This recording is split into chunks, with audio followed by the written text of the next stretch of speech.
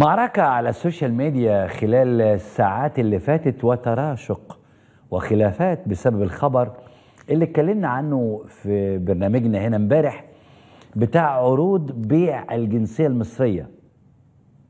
فاكرين إنه الملاك عباس كامل كان أصدر تعميم للسامسونج بالترويج للخبر ده؟ ونشر في حتت كتير جدا في صدى البلد في الأسبوع في العقارية.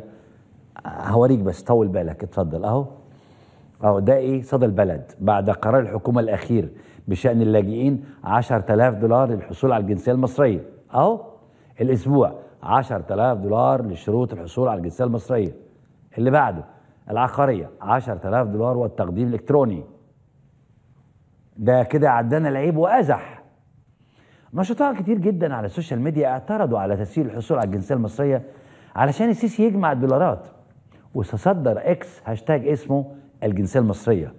ده صدر إكس اللي هو تويتر سابقا. والجنسية بكام؟ ب 10000 دولار. يا تلحق العرض يا ما تلحقوش. زي ما قالت هبة.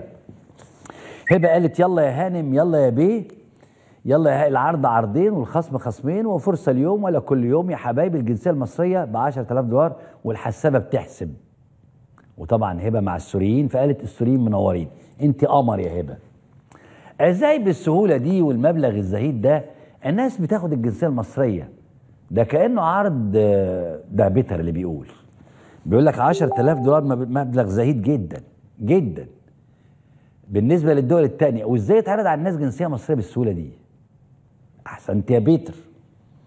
جنسية مصر بقت أرخص من ثمن عربية. ده صاحب الحساب ده اللي كتب. بيقول آه رخصتوا مصر الله يرخصكم دنيا وآخرة. صارت جنسية مصر أرخص من قيمة سيارة.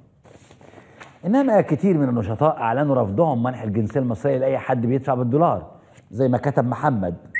محمد قال الموضوع لا مؤاخذة حساس جدا. عندما نقترب من الجنسية أنا مواطن مصري لي الحق ان أرفض أن يتم منح الجنسية المصرية لمن يدفع بالدولار؟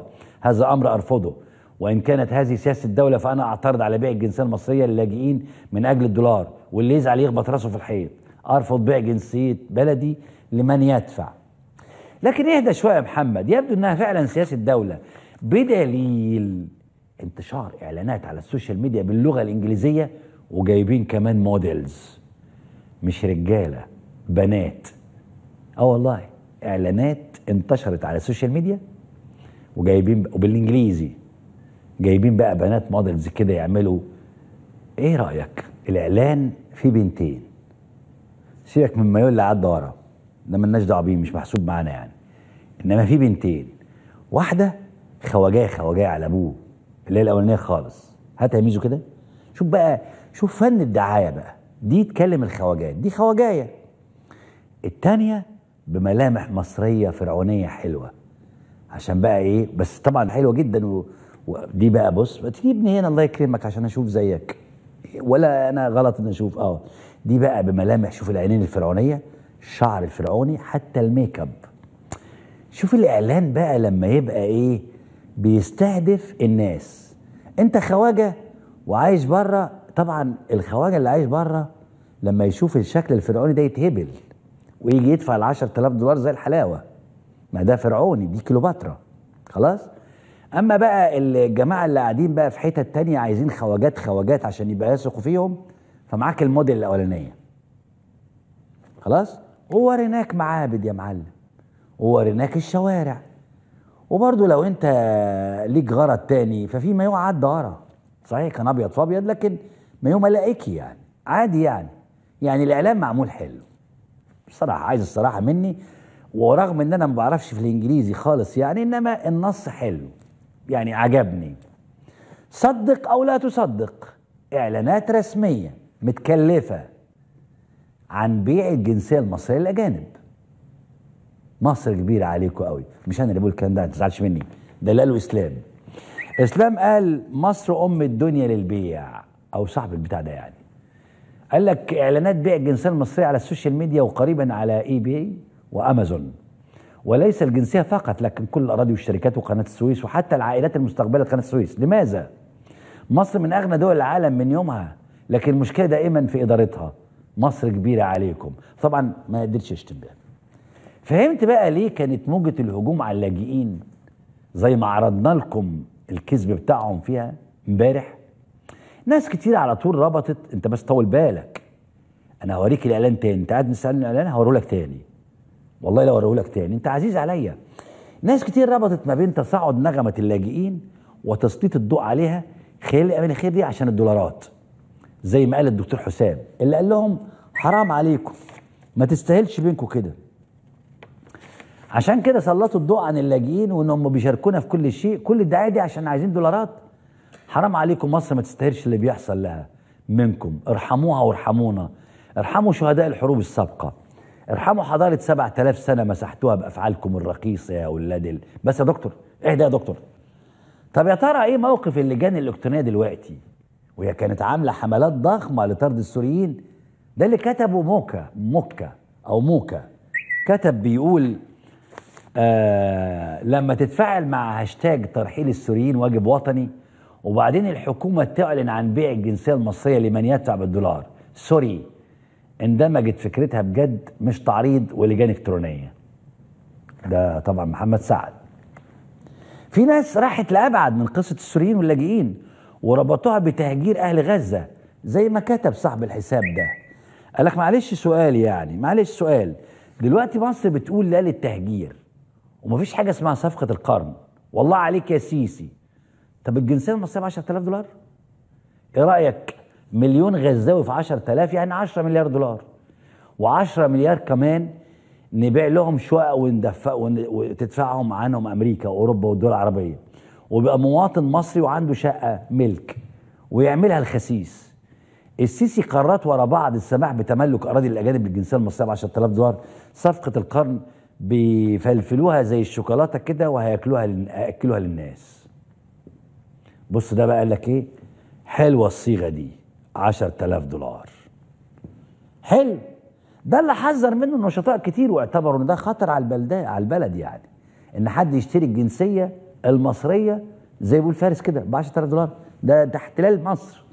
بيقول دي طريقة لاحتلال مصر. ده تصريح لأي شخص معاه فلوس إنه يشتري الجنسية المصرية يبقى من حقه يشتري أي شيء في البلد بما فيها من أراضي وعقارات. حد فاهم الخطورة اللي على البلد من قرار زي ده؟ حسبي الله ونعم الوكيل. ده ممكن كمان الإسرائيليين يشتروا ويتملكوا بفلوسهم. ده أحمد اللي كتب الكلام ده. قال لك بعد كده يدخل لك الإسرائيلي بجنسية تانية لاجئ وياخد الجنسية المصرية زي ما دخلوا الإمارات واتجوزوا منهم وأخدوا الجنسية الإماراتية وبرضه يدخل مصر انه إماراتي ويشتري أرض ويستثمر في مصر. المهم يعني ما طولش عليك بين شد وجذب. في نشطاء تانية قالوا إن العناوين اللي في المواقع الإخبارية بتاعه ال 10000 دولار دي مش صح. قال لا. يعني الإعلان اللي شفناه بتاع الأستاذتين دول مش صح؟ قال لك آه مش صح. ليه خير؟ ده بنوتين حلوين طالعين اهم بيقول لك تعالى استثمر وتعالى عندنا. قال لك لا ال 10000 دولار صح بس ما تاخدش الجنسية ب 10000 دولار. أمال أخدها بالبنتين دول؟ لا تاخدها دي ال 10000 دي دي رسوم بتدفعها مقدم على الجنسية في البداية. رسوم مقابل إنهم بس يبصوا في طلبك. مين اللي قال الكلام ده؟ أسامة. قال لك مع إني مش طايق ديك أم. ليش؟ إيه يا أسامة؟ في إيه؟ في إيه؟ ليه كده يا أسامة؟ ليه ديك أم وديك أب؟ المهم يعني مع إني مش طايق أنا بفرح لما حد يكتب اباحه الحقيقة. يعني. مع إني مش طايق ديك أم الحكومة دي لا في السماء ولا في أرض.